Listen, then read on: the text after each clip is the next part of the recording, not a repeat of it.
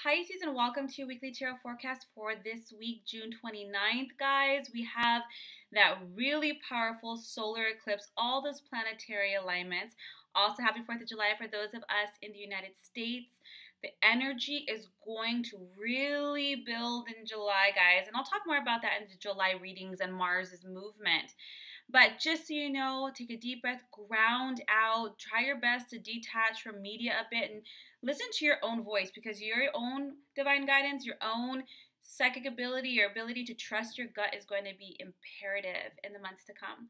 Now, this is for Pisces, Sun, Moon, or Rising, so please be sure to check all three. And if this is your first time watching me, thank you so much. I hope it serves you. If it does, please like, subscribe, comment down below, or just share it with somebody you feel this can serve.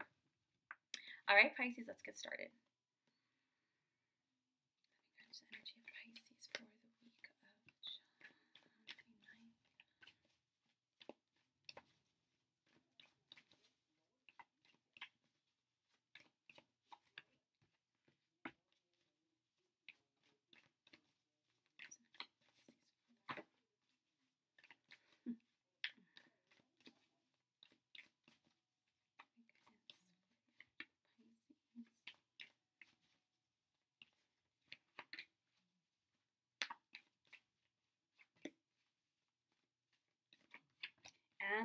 for the week.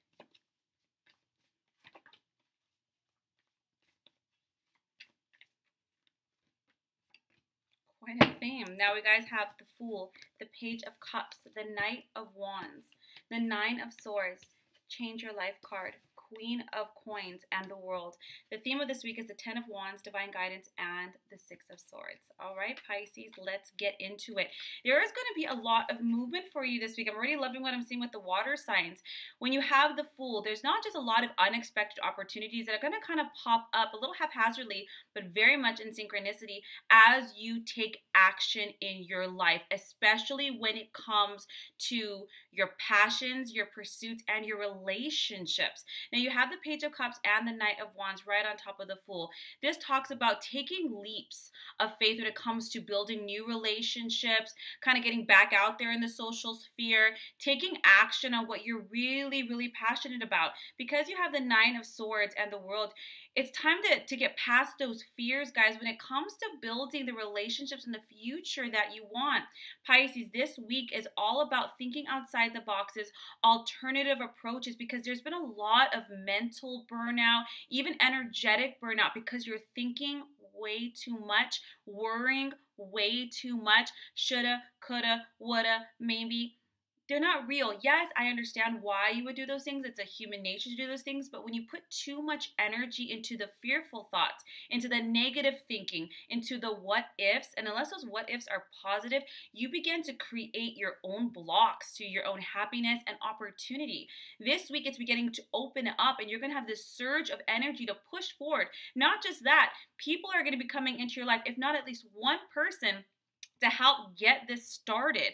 Whether it's coming in as a sort of support page of cups could absolutely be a friend. It is a soulmate energy, but it's somebody who reflects back to you your worth, you know, who you are. You know those people, those friends you hang out with and you're like, "Oh my gosh, I love this energy. This is so me. I feel so alive. I feel heard. I feel loved." And this is the kind of energy that's coming in.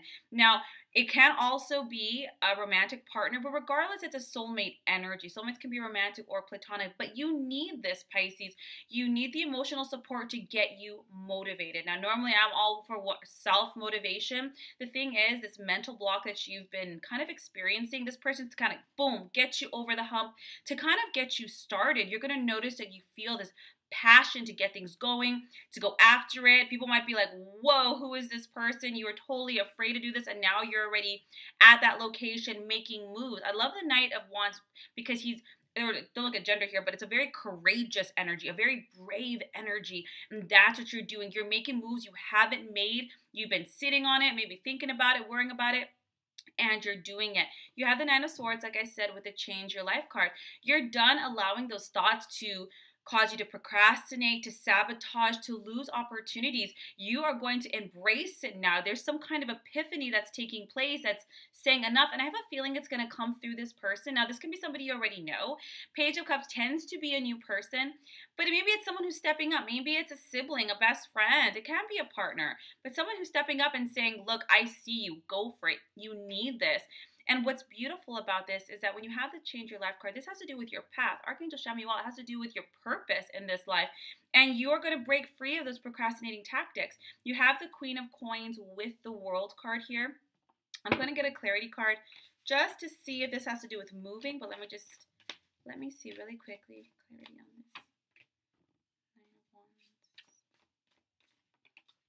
And the sun.